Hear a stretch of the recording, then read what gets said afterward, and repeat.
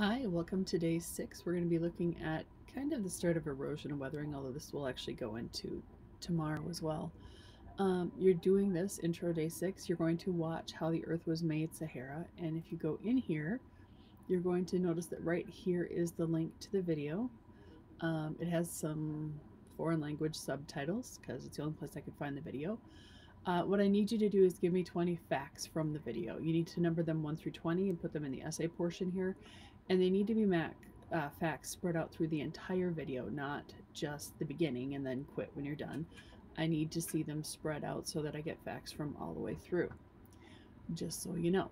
And then you've got, uh, when you look here, two section summaries, so they're very brief. Um, remember, section summaries are all self-contained.